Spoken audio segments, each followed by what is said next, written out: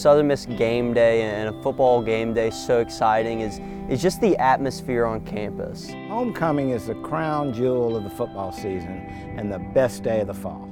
Oh, it's, it's um, I don't know, electric. It's fun. You know, there's excitement. It's like family, like you're just here and you're cheering with, you know, all of your closest friends because we all want the same thing. We all want to see them win we all want to see them succeed. And it's just exciting to be here. And in the Rock it's such a like intimate, special place to be. I think you know, one of the things about homecoming is you can really see the pride that our fans have in the university and, and in our football program and just the tradition that we have here at Southern Miss. But for homecoming, just the pageantry of it, you know, with the, the crowning of the queen and, you know, the presentation of the court, you know, that's always just fun. That is something that stands out above all else on homecoming day is that, that people are just so excited and they're proud of what Southern Miss is and what it is becoming. So much of homecoming week reminds you of when you were in school and that time that you had when you were a student, when life was perfect.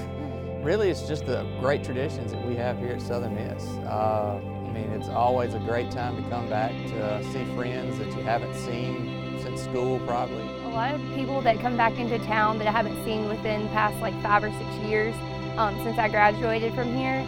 Um, I see a lot of friends from out of town that um, only come for that one particular game. There's people that'll come from all around the country um, because this university means something to them. And so having the opportunity to get back here, uh, get in touch and see other alums uh, is something that really just brings people together. The beauty of homecoming is people reconnecting with their alma mater, reliving those years, seeing one another. And so it's one of my favorite days of the year. Homecoming is a time where uh, many of the alumni, uh, many people who have supported come out in large masses to uh, support the Golden Eagles within this game. It's just, you know, everyone is here for the same reasons, watching their beloved Golden Eagles play and, you know, cheering them on to victory.